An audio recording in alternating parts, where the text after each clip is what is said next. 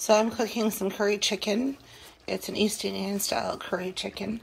I use the paste, which is the best kind, in my opinion, because then you can uh, get a lot more liquid with it. So I got liquid here. I boiled my chicken in a different pot for 15 minutes just to boil off some of the fat. It was boneless, skinless chicken breast.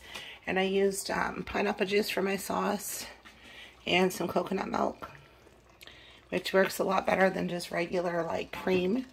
So it'll be sort of like a butter chicken and um, should be really good. And then I've already cooked my rice in a separate pot and it's done.